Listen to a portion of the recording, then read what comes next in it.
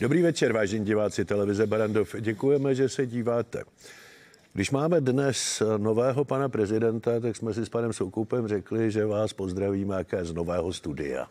A samozřejmě, že to střídání prezidentů by mělo být asi naším prvním tématem. Přesně tak, dobrý večer. Eh, trošku jsme tady upravili studio, je trochu světlejší a nemáme ty kožený sedačky, že byly trochu moc formální, protože my jsme dva političtí komentátoři, kteří jsou neformální. Co tomu říkáte dneska, ty uh, korunovaci? Já jsem řekl schválně korunovace, no, že to je já... inaugurace, ale přišlo mě to opravdu takový, uh, já mám samozřejmě velká očekávání, ale, ale uh, i celý den ty záběry, ty fotografie, kde jede je prezidentská kol- kolona a tak, tak mi to vlastně přišlo, že média možná chtějí vidět korunovaci jako Karla III. Jo? Já, ne, já, jsem to, já jsem to komentoval, že to je taková naše zlatá česká střední cesta, že sice chceme republiku, ale ty ceremoniály, ty chceme monarchistické, ty chceme mít opravdu, otázka, jestli je to dobře nebo špatně, já bych uvítal trochu civilnější průběh, ale těžko se tomu bránit. Může to opravdu, by to mohl změnit jenom prezident sám, který by řekl, ne, já nechci mít monarchistické ceremoniály, já nechci sídlit na hradě, ale to by musel zaprvé on sám hodně chtít. A za druhé si nejsem úplně jistý, jestli zrovna teď je to ta priorita číslo jedna. Takže e, máme inauguraci nového pana prezidenta. Ta inaugurace se mm, e, probíhá ve velmi pompézním stylu, který opravdu připomíná tu korunovaci, ale e, to si myslím, že není nic, co by nám mělo bránit v tom, abychom novému prezidentovi popřáli hodně úspěchu. Ne, to určitě. Ta změna na hradě bude určitě k lepšímu, protože k horšímu už to jako být může těžko, aspoň doufám. Teda samozřejmě Petra Pavla neznáme z politiky, jo, to znamená, že neznáme jeho uvažování k jednotlivým detailním věcem. Je to do určité míry jako velká neznámá, ale za ty poslední roky nebo 20 let, kdy byl v armádě vysokých funkcí, se nedopustil žádného velkého průšvihu a tak. A ty kaňky z minulosti, ty víme, ty můžeme klidně i zmínit, ale já jsem Totiž tady před, už já nevím, před půl rokem, když začínala ta prezidentská kampaň, jsem tady říkal v jednom z našich hovorů, že, že bych chtěl jako civilnějšího prezidenta, jo? že bych si klidně představoval, že by eh, prezident sídl v některém z těch malostranských paláců. To jsme mluvili. A, ne, a dneska mi to trochu jako připomnělo zase, že, že, ta, že ta majestátnost Pražského hradu a ty ceremonie a hradní stráž a ty pušky a, a tedeum a, a tyhle ty různé věci, které se děly, uh, že to je hrozný lákadlo, jo? že to, Ono, já si myslím, že se tomu asi velmi snadno i podléhá. No. Konec konců velmi tomu podlech i Václav Havel. To prostě, to prostě jak je. Tak po té formální stránce uvidíme, mnohem důležitější je ta stránka obsahová. Vy jste říkal, že horší už to být nemohlo. Já jsem se bál, že mohlo.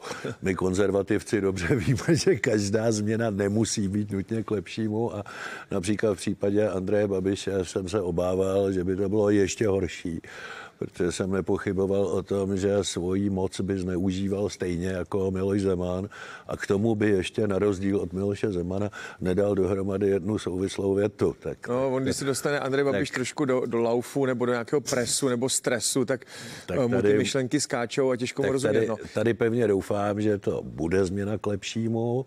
Ano, z hlediska politika je Petr Pavel nepopsaná stránka. Nicméně v té kampani se vyjadřoval jednoznačně, to znamená z toho, z těch v té kompetenci, která je mu nejblíž jeho pravomocem, to znamená reprezentace stát na venek, států na venek, zahraniční politika, tam je zřejmé, že souzní s touto vládou. Tam, tam nejsou nějaké zásadní rozdíly, nebo zásadních rozdílů jsem si tam nevšiml, což je velmi důležité, protože není nic horšího pro eh, středně a velkou zemi, když její prezident tahne tu zahraniční politiku na jednu stranu a vláda na druhou. To vám potom v tom světě vůbec nikdo nerozumí. Jasně. Já, k té korunovaci, já si fakt tomu budu říkat korunovaci, inauguraci, tak mně to přišlo, eh, no prostě, že, to, že vy se to řekli, že tomu těžké, snadné podlehnout. Já budu doufat, že tomu jako společenskému statusu to, to, hlavy státu Petr Pavel jako nepodlehne i v jiných věcech, protože když se jmenuje, nebo když je zvolena předsed, předseda nebo předsedkyně poslanecké sněmovny, tak to, to je čtvrtá zpráva někde na mm, třetí straně eh, nějaký de, nějakého deníku, abych to jako nepřenal, možná na druhé straně, ale žádný velký demonstrace se nekonají. Když je teda nakonec jmenován předseda vlády, tak se taky neděje vůbec nic. A když je teda inaugurace prezidenta, tak davy lidí táhli doslova táhli těmi malostranskými uličkami nahoru se podívat. Bude tam velkoplošná obrazovka. Eh, řekl bych, že tomu trochu podléhat jako prezident bude. Jo. No, já říkám, že je tomu velmi těžko, všichni jsme jenom lidé, takže... No i v těch dalších je, krocích, nejenom dneska. Ono je, no, velmi, ono je velmi těžké tomu nepodlehnout.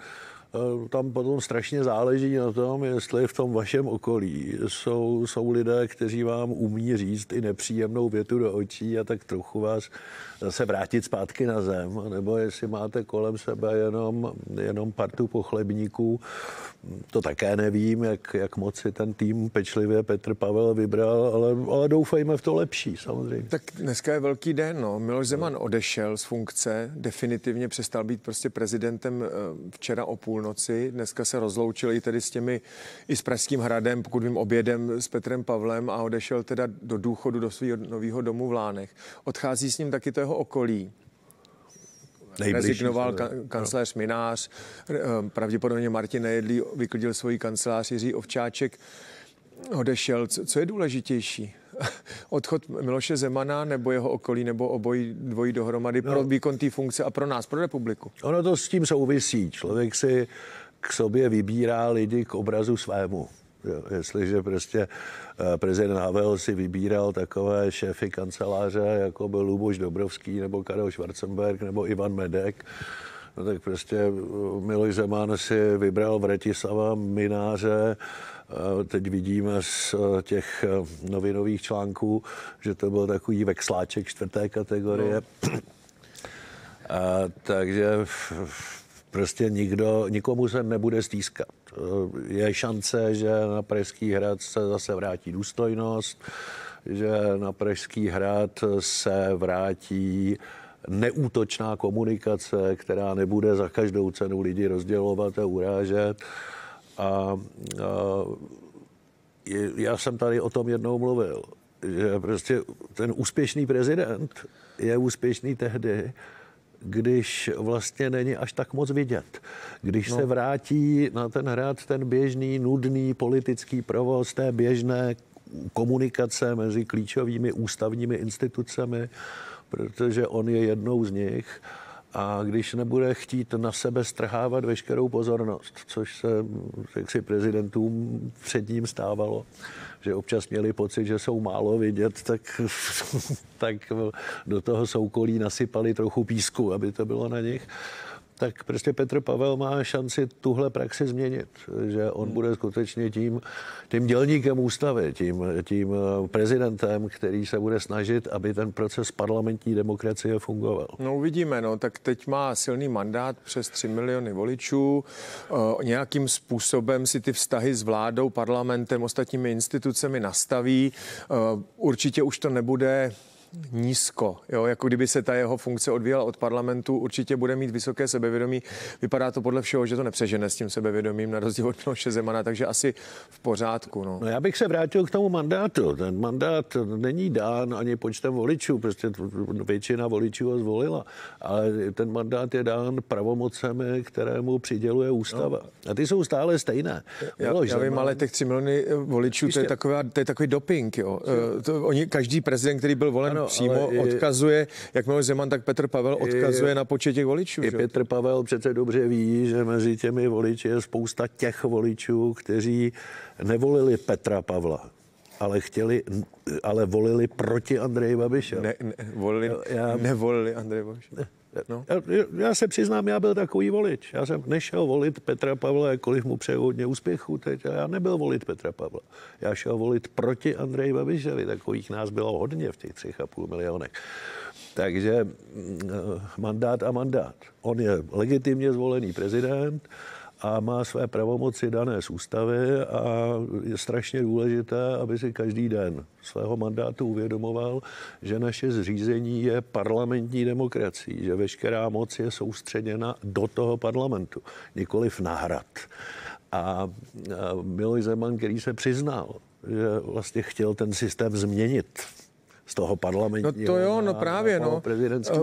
No tak to by slušného prezidenta v parlamentní demokracii nemělo napadnout ani na vteřinu. No, no, no nevím, no Miloš Zeman vysvětlil jako s takovým zvláštním ústavním primitivismem, jo, vysvětlil, že si přečet v ústavě, že prezident jmenuje předsedu vlády a její členy ano, jistě. a odvolává. Tím pádem si říkal, že k tomu nikoho nepotřebuje a že si teda bude jmenovat členy vlády a předsedu vlády podle toho, jak on potřebuje a že mu do toho nikdo nebude mluvit mluvit. Eh, ta, ta prima, která jsem dělala rozhovor, mu ne, teda neřekla, že, ten, že ta vláda je otiskem parlamentu. Jo? Že, že, že parlament je ten, který dává dohromady strukturu té vlády, protože potřebuje její důvěru. Miloš Zeman si řekl, že, že to prostě nepotřebuje, že to zkusí. Pak mu pravděpodobně řekl, že by to dopadlo blbě u ústavního soudu, tak už to přestal dělat, ale přesto tady ten otisk vlády Jiřího Rusnoka zůstal. A podle mě to je největší přešlap Miloše Zemana ano, v tý, to, to, to, se za těch deset let. To se skutečně blížilo ústavnímu puči a s řadou členů jeho vlády se osobně znám, tehdejší s některými si tykám,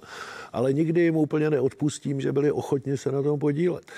E, takhle, jak to chtěl Miloš Zeman, takhle, takhle je to ve Francii. Ale tam no, je to z ústavy. Tam, když volíte, tam je jasná čára mezi exekutivou a legislativou. A když volíte do parlamentu, tak volíte v parlamentních volbách. A když volíte prezidenta, tak volíte vládu protože ten prezident si pak tu vládu sestaví a má na to mandát opravdu, jak chce. A ta vláda nemusí chodit do parlamentu pro důvěru. Takhle je to ve Francii. Ano, ta, tak proto se tomu říká poloprezidentský systém. To znamená, v, ve Francii vláda vychází z prezidentských voleb zatímco u nás vláda vychází z voleb do poslanecké sněmovny. No, to jo. A tohle ten Miloš Zeman změnil. Ten řekl, Ale... já jsem teď zvolený prezident no. a já si tu vládu změním. A vzal si jeden článek ústavy, přečet si ho a říkal, tohle je ten článek, ty ostatně nezajímají. No. A to byl nikoliv jeho jediný přešlap vůči ústavě, ale ten největší, ten nejostudnější. A já pevně doufám, že už žádného prezidenta po, ní, po něm tohle nenapadne. První věc, co Petr Pavel bude muset řešit, je jmenování ministra životního prostředí. On tedy řekl, eh, že Petra Hladíka jmenuje tam asi, eh, ten tam teď dělá náměstka, dopadlo to tak, jak se predikoval. Bude dělat náměstka, dostane od ministra Jurečky jaksi plnou moc k tomu, aby to ministerstvo řídil a se stane prezidentem Petr Pavel, tak bude jmenován. Lze očekávat podle vás nějaký další změny ve vládě? Já jsem, jako teď, já, jako... jsem, já jsem o žádné neslyšel, premiér žádnou neavizuje. No. Ne, ne, nemyslím si, že by se některé nehodily, ale do toho nebudu, no, právě, no, tak se chci nebudu, zeptat. nebudu premiérovi. Ono je to strašně těžké dělat personální změny ve vládě, která je složená z pěti parlamentních stran. To, to, to, to opravdu není, není snadné a nemyslím si proto, že k nějaké personální změně dojde on namenuje Martina Hladíka ministrem životního prostředí, což je prostě rutinní formální akt, ale čeká ho to rozhodnutí o zákonu o důchodech, a to já mu opravdu nezávidím. Hmm. Tady je tou situací vmanévrován do něčeho, co by mu vlastně ani nemělo moc příslušet, protože rozpočtová legislativa a legislativa o důchodech není v pravomocech prezidenta republiky a tak, jak to ten parlament odhlasoval, tak on by to měl rutině, podepsat. rutině podepsat. Nicméně je tam ten problém toho způsobu projednávání a problém možné kolize s ústavou, a ústavnost procesu už je něco, co toho prezidenta zajímat musí. Hmm. A jestli, může si být jist, že ten zákon půjde k ústavnímu soudu. To znamená, ať rozhodne jakkoliv, tak vždycky naštve půlku, půlku, půlku lidí a ponese nějaké riziko, že pak ústavní soud řekne, učinil svůj podpis pod zákon, který je v rozporu s ústavou. Eh, je to rozhodování, kterému opravdu nezávidím. Jo, jasně, no tak... Eh, Nedostal se do něj vlastní vinou. Je to politicky velmi citlivý. Eh, v poslanecký sněmovně okolo toho byl bugr, proběhly tam tady ty obstrukce, nakonec nebyly tak drastické, dá se říct, jo. Ale je pravda, že ta ústavnost toho procesu, respektive to, že to bylo v tom stavu legislativní nouze, je otázka. Já si vůbec nejsem, jako, nebo ne, ne, nejsem povinný povinován nebo necítím se oprávněn k tomu, abych to nějak dopodrobně rozbíral. Akorát já, já, já k tomu takovou poznámku. Jo všichni, kdo o tom hlasují, jsou, jsou zodpovědní za ústavnost toho procesu, nejenom ústavní soud. Jo. Každý, každý, kdo o tom hlasoval, ať už poslanec, senátor nebo i prezident republiky, se má zamýšlet nad tím, jestli to ústavní je nebo není. To ne, nemůžou říct, hele, mě to nezajímá, já, já politicky s tím souhlasím a jestli to je ústavní nebo neústavní, ať si to vyřeší ústavní soud. To takhle není. Jo. Ne, samozřejmě, že každý nese tu odpovědnost. Problém je, že ta sněmovna i ten senát mají tu kolektivní odpovědnost, ty rozhodují o sboru. Zatímco prezident republiky je instituce, je jeden člověk. Ten musí, to je jeho rozhodnutí. Petra Pavla, prezidenta republiky a on tím naštve buď jednu nebo druhou stranu a on tím nese svoji osobní odpovědnost. Pravděpodobně to podepíše, bych typoval, ale samozřejmě do hlavy mu nevidím, nemám na něj mobil, takže netuším, jak rozhodne. Podle mě to netuší nikdo, možná vy má jeho nejbližší okolí. Uh, řekl bych, že to podepíše k tomu ústavnímu soudu, to půjde. Těžko odhadnout, jak s tím potom naloží. Uh, to už je prostě uh, otázka pravděpodobně ta, to snížení valorizace jaksi bude, protože nevím, jestli ústavní soud dokáže rozhodnout tak rychle, netuším, jo, do, do, do tří no ne, měsíců, tak, uh, nedokážu roz, uh, odhadnout. On... Pravděpodobně to snížení valorizace bude a mě by zajímalo, jaký to bude mít politické důsledky. Tak... Uh, a teď jsem tam dal spoustu ale, jo. Dali jsme tam spoustu ale, ale on, když ten ústavní soud rozhodne až na konci roku třeba, tak to ten stát bude muset doplatit. No. Takže jako tam Eh, nejde o to, že když ústavní soud nerozhodne do června, že je vyhráno. Když ústavní soud nerozhodne do června, tak v červnu vláda vyplatí snížené důchody a když jim v říjnu ústavní soud ten zákon zruší, tak je bude muset doplatit dokonce i s nějakým úrokem. A s tou obrovskou blamáží, která nastane, pevně doufám, že se to nestane. Tak dobře, tak spekulujme o tom, že což bych si přál samozřejmě z hlediska stability rozpočtu, spekulujeme o tom, že to pan prezident podepíše, ústavní soud to nezruší, ta valorizace zůstane snížená a já říkám, že to je dobře a že pokládám za naprosto přehnané a nepravdivé výroky, že jsou, že jsou důchodci okradeni. Důchodci dostanou v červnu přidáno po páté za 18 měsíců. No. Já se teď rozhlédnu studiem po vašich zaměstnancích, pane Soukupe, a zeptám se, kolika z vám přidal pan Soukup pětkrát za 18 měsíců? Je tady ticho. Můžu se zeptat jakéhokoliv zaměstnance.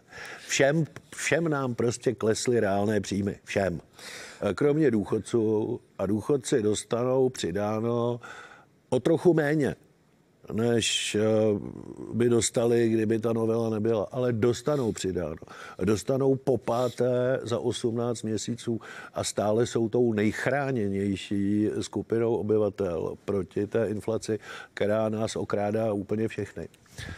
A, a je to, mně to nepřijde nefér, mně to přijde naopak velmi fér. Já jsem tady... Ne, to jsme si věcně řekli, jo, že to jako je v pořádku, že někde se začít musí, jenom je otázku, jestli neměl být udělán nějaký batoh, více, více, více úsporných opatření, aby to nevypadalo politicky, že opravdu to zatím odnáší jenom důchodci. To je jako velká otázka, o tom, protože o tom ta, mláda... ta, ta, no, ta opozice se toho okamžitě chytla Samozřejmě. Eh, a je to hlavní téma. Chtějí tom, vás okrást. O tom ta vláda mluví, ta říká, dáme na stůl konsolidační balíček, nicméně ten, na ten konsolidační balíček je čas do konce roku. Když to tady hrozilo nebezpečí z prodlení, protože ta mimořádná valorizace se vyplácí v červnu. To je prostě, znovu se vracím k tomu, co jsme říkali už čtyřikrát, že tam vláda prostě zaspala ten půl rok, byť řada z nás na ní naléhala, ať tu mimořádnou valorizaci řeší dřív. Takže teď vlastně jako prezidenta dostávají do presu, v kterém nemusel být kdyby to řešili dřív. No jasně. A, a z mého pohledu už byla velmi problematická ta mimořádná valorizace druhá na konci roku. Už ta se měla korigovat a už, a už hlavně tam nemělo dojít k tomu, že jí do předčasného důchodu se vám vyplatí hmm. víc, než čekat na důchod hmm. řádný. A teď taková otázka, já jsem se ptal na ty politické důsledky, jo. jestli lze očekávat eh, nějakou jako novou, novou politickou sílu, samozřejmě eh, logicky v tom extrémnějším slova smyslu. Já si pamatuju, v roce 2014 byla vlastně poslední velká změna v tom politickém eh, rozložení sil, kdy vstoupil do, do, do hry hnutí ANO. Ještě někdy v roce 2013 měli preference 0,1 možná. A já jsem říkal, no tak eh, to je nějaká hračka miliardáře, který ho to za chvilku přestane bavit a ono ne. Oni oslovili opravdu podstatnou část veřejnosti a celkem jako trpělivou, trpělivou prací na voličích ČSSD, KSČM a tak se jim podařilo vyrůst v, největší parlamentní stranu. Teď se zase pustili teda do pravicových voličů a taky do okamorových voličů a tak. Eh, Tomio Okamura z SPD je také poměrně výraznou změnou v politickém eh, rozpoložení, ale jinak je celkem všechno při starým. Posledním velkým projektem je TOP 09, který jste dal dohromady vy. Otáz... Ne, posledním velkým projektem je eh, Andrej Babiš. No já ne, dal jako dohromady TOP z těch 09, tradičních, myslím. Jo. Já dal dohromady eh, TOP 09 v roce 9 a Andrej Babiš v roce 11 dal dohromady. Nebo ne, ano. posledním ještě jeden velký projekt, který eh, jak si vstoupil do hry, byl TOP 09 a od té doby nic, což vlastně jako za 15 let tři subjekty není tak moc. Jo. A teď o čem mluvím? Je tady ten Reichl, ten tady byl ve studiu, takový hodně agresivní rétor, eh, který má za sebou nějakou takovou tu nespokojeneckou vlnu, která možná považuje Tomia Okamuru za málo radikálního. Ty svolávají nějakou demonstraci. Mě by zajímal váš názor, jestli se to může rozrůst, jo? jestli to může být jako da- další politická síla, která já si myslím, že ne. Jednak si myslím, že obě dvě ty strany, které loví v těch extremistických vodách, to je ANO i SPD, že se tam skutečně rozkračují a že by musela ta nová, ještě víc extremističtější strana, v těch heslech se o to snaží. Já když slyším pana Reichla nebo někoho no. jiného, tak, tak, jsem, tak, jsem, tak to musím po minutě vypínat, protože to proti němu byl doktor Sládek blahé paměti kultivovaný politik. Ale nemyslím, nemyslím si, že, nemyslím si, že, že tam mohou pozbírat příliš mnoho za prvé.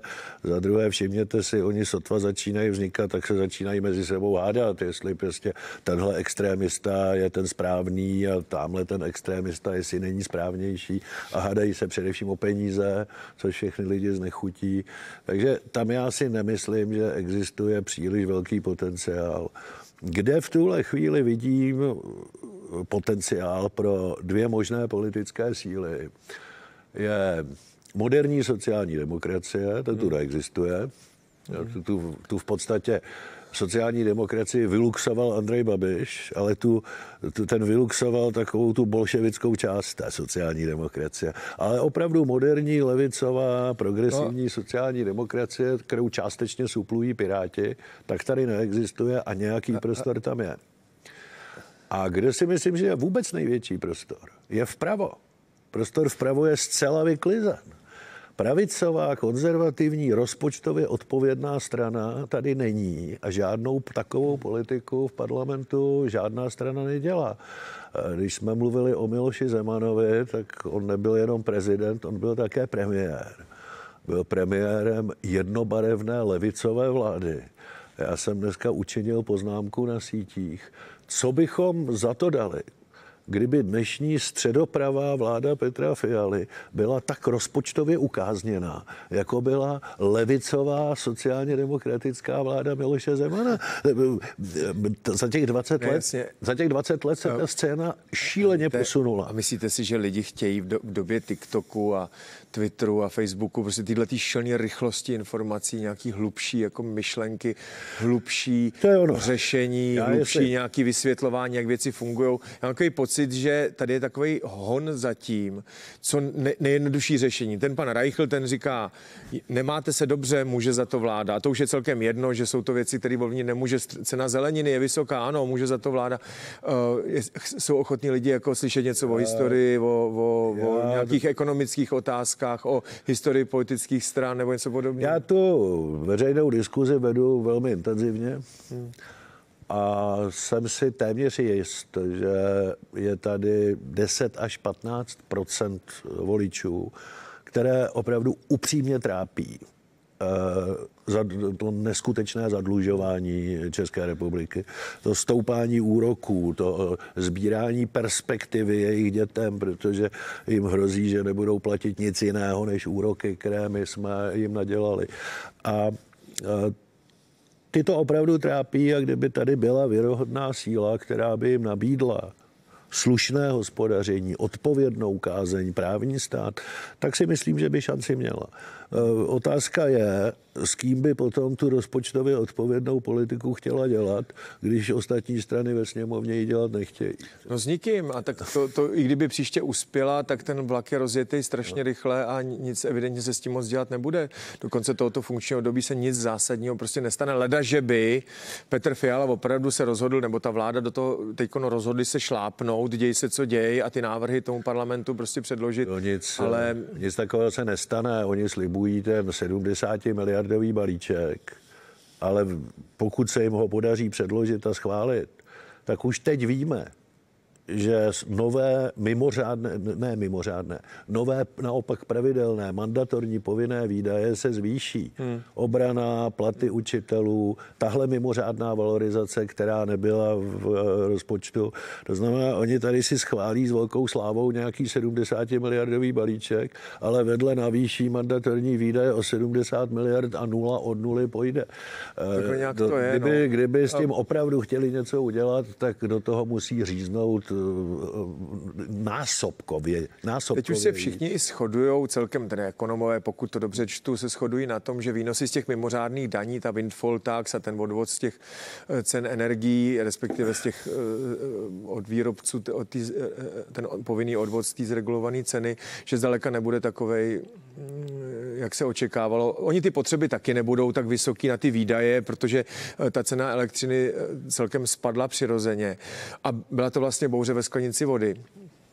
Já vím, ale tak odpreparujte to od sebe a pořád je tam ten rozdíl mezi pravidelnými příjmy. No to jo, o tom mluvím, jo, že jsme v, to, v té bouři no. o tom windfall no. tax zapomněli na ten strukturální eh, problém, jako, jako kdybychom ho tím přikryli. Tak ale ono se ho to za A vůbec netýkalo a za B za pár měsíců vidíme, že problém windfall tak. tax a spol vlastně ustoupil do pozadí. Rozumíte? Tak, Takhle jsem to myslel. Tak nezapomněli. Byli tací, kteří na to třeba ukazuju teď na sebe, byli tací, kteří o tom mluví stále a, a, a já obdivuji vládní poradce, protože vláda má Národní ekonomickou radu vlády, kterých vím, že o tom mluví každý týden, každý, ka, no, každou chvíli těm no, ministrům dávají svá doporučení, pod která bych se okamžitě podepsal. No ale ta doporučení nikdo nerealizuje. No. no ne, tak ten důvod je jednoduchý. Pokud jsou proporčně významná, tak jsou politicky bolestivá. Jistě. To znamená, budeme se zabývat doporučeními, které nejsou proporčně významný a, a tím pádem nejsou politicky bolestivý, ale ty proporčně významný ty zkusíme udělat jenom, aby to nebylo tak bolestivý. Vy jste teda ta valorizace důchodů. Ona je potřeba, ale měla být doprovozena ještě dalšíma věcma. Že? Vidíte, a my jsme hned od prezidenta sklouzli zase k té pravomoci vlády a parlamentu, Protože tohle, o čem teď mluvíme, problém strukturálního deficitu hmm. a výše důchodů a udržitelnosti jak penzijního, tak zdravotního pojištění. Eh, Petr Pavel o tom hodně mluvil. Myslím, že to dneska zmínil i ve svém inauguračním projevu a je to dobře. Ale vůbec to není pravomoc prezidenta. Ten prezident může apelovat, může tu vládu upozorňovat, může jí k tomu volat, ale nemůže vůbec nic rozhodnout. To, no to tohle, jo, no. rozhoduje, tohle rozhoduje jenom, jenom vláda a, a, a parlament. No jo, ale o čem se s vámi taky bavit? Jste ekonom, že? No ne, tak můžeme se bavit třeba o Můžeme se bavit o politice, já jsem býval taky politik. no a nechcete být znova politik? Myslím, s tou novou politickou stranou, protože už o tom mluvíme po několikáté, ten prostor na tom pravém křídle nebo pravý části toho politického spektra, to zmiňujete, jsem, máte to promyšlené? Já jsem jednu politickou stranu založil, jsem jejím členem a, a pořád doufám, že se vrátí zpátky k rozpočtové odpovědnosti, což byl jeden z jejich eh, hlavních pilířů vždycky. Teď na něj trochu zapomíná, možná si myslí, že že mají jiné starosti. Já si myslím, že ta hlavní starost by měla být právě ta rozpočtová odpovědnost. Ale, ale ono to směřuje k tomu, že ten stát asi nezbankrotuje, to ne. Eh, na to, na to máme jako dost to... úředníků, kteří umí počítat, aby jsme se tomu vyhnuli. Ale dostaneme se do pozice států, to... kteří jsou prostě velmi zadlužení, ať už je to Itálie to... nebo nějaký jiný. To prostě to ne, tak Belgie, ale to jako tak bude, no. ty, ty lidé na to budou každý rok doplácet víc a víc a víc, protože jak budete platit čím dál tím větší a větší a větší větší úroky, no tak ten stát nebude mít na něco jiného. to. Znamená, dostanete za ty peníze, které odvádíte, dostanete menší kvalitu veřejných služeb. Nedostane, vaše děti nedostanou takové vzdělání, protože se musí zaplatit úroky. Nebudete mít takové silnice, protože se musí zaplatit úroky. Prostě eh, doplácíte na to. Doplácíte na to každý rok. A ta inflace, tak teď zase budeme za chvilku mít hmm. čísla inflace za další měsíc, nebo tak za chvilku, no tak uh, za 14 dnů. Uh, ona je poměrně vysoká. Teď ty ceny, zejména potravin, ty, ty jsou populární. Viděli jsme ty politické hrádky Babišovo, Lečov, Fialovo, Lečo a takový. Ty ceny potravin jsou možná pocitově 30-40%. Včera tady byl agrár, prezident agrární komory eh, a Lukáš Kovanda také ekonom a shodli se na tom, že možná potraviny v průměru zdražily o 30-40%, což je obrovský rozdíl oproti dřívějšku. Víte, sice nám stoupala inflace, ale ceny potravin takřka ne. To znamená to, že v tom spotřebním koši, z kterého se to počítá, nebo z toho, toho seznamu těch věcí, z kterého to počítá statistický úřad, vyšlo, já nevím, 12% inflace. Nikoho zvlášť nezajímalo, když potraviny byly 0,7. Upřímně, teď je to zase přesně opačně, protože mám, vychází inflace 15, ale když jdete na nákup, tak prostě vidíte, že za ten nákup, za který jste dřív platili 500 korun, teď platíte 800. To prostě tak je.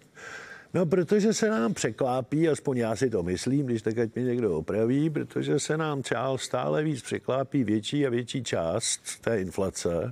Jestli si vzpomínáte na ten spor, který se vedl, do jaké míry je to inflace nákladová, způsobená cenami energií a za do jaké míry ceny poptávková, tak dobře, bylo to složené ze dvou dílů a stále více to překlápí do té poptávkové. My jsme bohužel došlo k tomu nejhoršímu, k čemu dohlo, mohlo dojít, a to je to inflační očekávání. Jasně. A to je něco, co se odehrává tady ve vaší hlavě. Před 14 dny tady v Lidlu vedle nebyla k dostání cibule, protože asi dva dny byly všude zprávy, že zelenina zdraží a na, ve světě není cibule. Lidi zareagovali úplně jednoduše, šli vykoupit cibule. cibule. Lidl si to během dvou dnů vyřešil, takže za třetí den už tam ta cibule byla, ale lidi zareagovali takhle. Inflační očekávání je to nejrizikovější, protože s tím se prostě hrozně špatně pracuje. To už je v atmosféře, to je ve vaší hlavě, to je v mentalitě. Vy jdete jako zákazník nakupovat a dopředu počítáte s tím, že je inflace a že ten obchodník to bude mít dražší. A ten obchodník, protože ví, že vy s tím dopředu počítáte a dopředu jste ochoten to akceptovat, no tak vám to taky zdraží. A já vím, a s těma potravinama... S těma... Podívejte se, podívejte se, jak vyskočil za rok, eh, za rok 22, jak vyskočil zisk Agrofertu. No na čem vyskočil? Na inflačním očekávání no, a na, no, na, na, na prodej. Já vím, ale u těch potravin mě třeba vadí to, že ministr zemědělství si nestoupne a neřekne, jak to je. Jo. Že za část zvýšených cen samozřejmě může špatný počasí ve Španělsku samozřejmě. zeleniny teď, prostě samozřejmě. protože naprostá většina zeleniny se dováží v zimě eh, ze Španělska. Je. Samozřejmě transportní náklady, samozřejmě i ty očekávání a samozřejmě, že obchodníci, kteří tuší, že je prostor, nebo obchodníci, ale i zpracovatele, že je prostor pro to, aby řekli, máme drahé energie. A jasně. Samozřejmě, že je strašně nefér, když se zneužívá v argumentaci i proti vládě něco, co ona nemůže ovlivnit. Prostě za neúrodu paprik ve Španělsku opravdu nemůže česká vláda. tak když se na neurodilo, tak ty papriky buď nejsou, nebo jsou drahé. A konec konců, eh, jako naši přeci najedli papriky a jahody v únoru. No tak prostě ho si dám jinou ne, Já jsem to ještě eh, zase a... totiž chtěl politicky, jo, protože teď ty lidi řeší opravdu ceny potravin a vidíme opoziční politické síly, které říkají, že řešením je uh, potravinová soběstačnost. Si říkám, pro boha, eh, jak může znamenat, že když něco bude vypěstované v Česku, že to automaticky bude levnější? Přeci to, ne, naopak. To, to, to, to, to, přeci je, je, jako, to, je, to, je to přeci není pravda. Jo? Víte, všechny tyhle zemědělské lobby, než jsme vstoupili do Evropské unie, tak říkali ochrana trhu. Jinými slovy, když se to sem bude dovážet, tak ať je to dražší, ať eh, to můžeme pěstovat my tady. Potom, co jsme vstoupili do Evropské unie, tak už, to, tak už neříkali ochrana trhu, to nejde, jsme na jednotném evropském trhu, tak říkají národní soběstačnost. Obě dvě ty hesla není nic jiného, než vymáhání dotací od daňových poplatníků. Eh, my přece, když mluvíme o soběstačnosti, tak musíme uvažovat právě v tom prostoru evropského trhu. Eh, my no. musíme my musíme 80% všeho, my jsme dominantně pro exportní ekonomika. My musíme 80% všeho, co vyprodukujeme, vyvést. Vyvážíme především na evropský trh. Kdyby si všechny země kolem nás řekli, že v těch věcech, co my vyrábíme, chtějí být soběstačné, no tak jsme ztraceni. To znamená, i no, my no, no musíme no, být schopni no, jasně. Eh, ten evropský trh vnímat jako svůj a připustit tam normální konkurenci.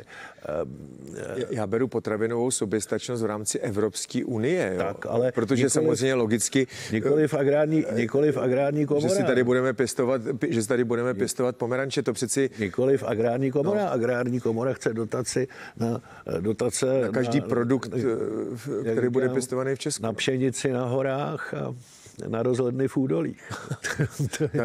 takhle, takhle to je. Napadá vás nějaký závažný politický riziko, který by teď mohlo hrozit, eh, ať už vládě, parlamentu? Je tady snaha o odvolání předsedkyně poslanecké sněmovny. Myslím si, že to samozřejmě dopadne jenom divadlem a, a bude to zamítnuto. To je opoziční folklor. Já si myslím, Měl jsem trochu obavy z toho, že Senát jako zareaguje nervózně na tu novelu zákona o sociálním pojištění. Prošlo to tam celkem hladce.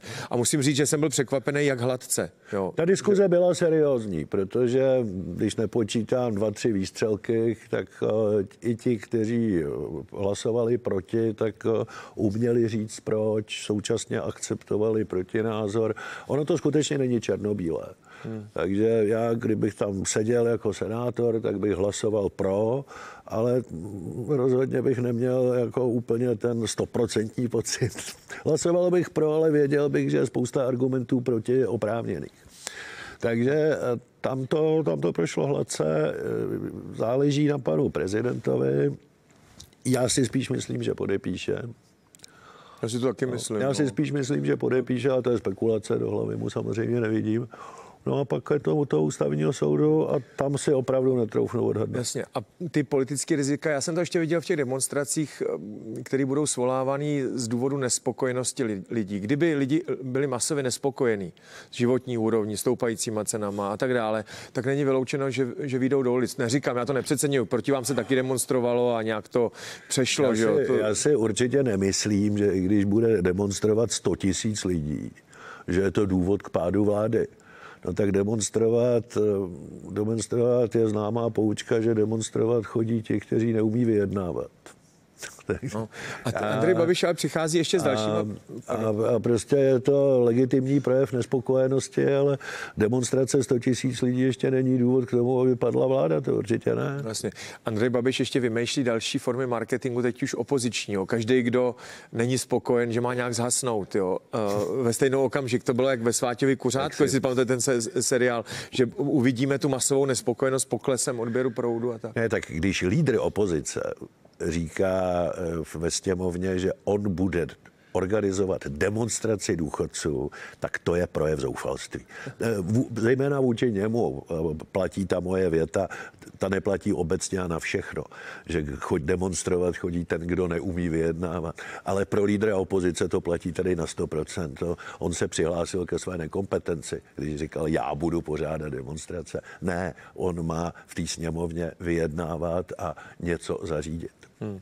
A zahraniční politika eh, zdá se být relativně poklidná, žádný vztahy vyhrocený s nikým nemáme, vyma toho, že se nebavíme s Číňanama, a, a Rusama, což nám asi nějak zvlášť nevadí. A váš komentář k poslednímu takovému, ne vývoji, já jsem četl eh, český komentáře, díval jsem se i na ten originální článek v New York Times na internetu, který říká, že Ukrajinci nepostupují, že ta fronta prostě na rusko-ukrajinská se nehýbe de facto. Eh, běhají rů, různý videa jako zvěrstev a tak a prostě se to nehýbe. A ten článek v tom New York Times říkal, no, v zákulisí americké politiky se říká, že pokud se do podzima nebo do léta něco nestane, že Volodymyr Zelenský bude tlačen pomalu k tomu, aby začal vyjednávat sám, jo, aby to inicioval. Eh, čeká nás červnový summit NATO. Já po, po, po, vylučuju, že by se o tom nejednali. Naopak si myslím, že to bude hlavní, možná jediné téma. A o tom, že prostě státníci pře- budou muset přemýšlet, jak a za jakých okolností a za jakých podmínek ten konflikt skončí. On neskončí hned. Ten bude trvat dlouho ještě. No to je prostě povinností státníků. Samozřejmě, že všichni říkají, že mírová jednání mohou zahájit, můžeme zahájit až tehdy, až řeknou Ukrajinci. Že oni si o tom musí no. sami rozhodnout vzhledem k obětem, které postoupili. To je sice pravda ale o tom, jako oni budou rozhodovat také podle toho, eh, jak moc jim ten západ bude nebo nebude dodávat eh, potřebnou Zbraně, no. vojenskou no. pomoc. Že? Takže... Od, okolo toho teď každý přešlapuje, protože nevypadá to na totální vítězství Ukrajiny. Nevypadá to zase na totální vítězství Ruska, že na, v Kijevě bude loutkový prezident, který odevzdá Donbas a Krym navždy a podepíše k tomu příslušný dokumenty. To prostě nevypadá. A ty dodávky zbraní jsou, eh, na tom jsou Ukrajinci závislí. A pokud eh, Západ buď je přestane mít, anebo přestane být ochota je dodávat, no tak logicky to no, znamená tlak oni, na Voldemara Zelenského, helejte, musíte začít něco dělat, protože tohle nepůjde do nekonečna. Oni taky mohou dojít, ta, ty zásoby, nejenom ta ochota, ale ty zásoby samotné. Ta spotřeba na té frontě je tak obrovská, že docházejí, dochází celá řada strategických zásob i v armádám, které jsou v zemích, které té Ukrajině pomáhají. A ty země, včetně té naší, by museli možná částečně přejít na válečnou výrobu, hmm. aby to byli schopni doplnit, saturovat. To je celá řada ukazatelů, do kterých já nevidím jenom prostě ze zkuč, to znamená, nemohu nic usuzovat, ale ze zkušenosti si troufnu říct, že to vypadá na dlouhý konflikt a že je logické, že státníci přemýšlejí, jak důstojně pro Ukrajinu, pro její bezpečí, pro její suverenitu ten konflikt eh, nějakým způsobem ukončit. To já si myslím, že je povinnost z každého státníka, aby o tom přemýšlel. Hmm, že on pokud to bude ukončeno tak, eh, že se začne jednat a teď tam bude nějaká nedohoda, typově prostě na tom Donbase, že Rusové tam budou, bude to navždy, možná za našeho života už se to nevyřeší, jo, že to bude prostě navždy svárem, to samý ten Krym, tak lze očekávat, že Ukrajinci budou říkat, no tak vy jste nám nepomáhali a teď jsme přišli o země. No. My si musíme uvědomit, že rozhodujeme o své vlastní bezpečnosti. Hmm. Protože kdyby skutečně Rusové triumfovali na Ukrajině, tak je jenom otázka času, kdy no, budeme na jídelním lístku no, my. Takže je v našem životním zájmu, aby Ukrajina obstála. Hmm. Vypršel nám čas v novém studiu v den inaugurace prezidenta, ale něco jsme mu věnovali. Řádově třetinu pořadu jsme mu věnovali. Popřejme mu a upřímně, aby to byl úspěšný prezident, protože je to v zájmu nás všech, ať už jsme ho volili nebo nevolili. Tak zase příště.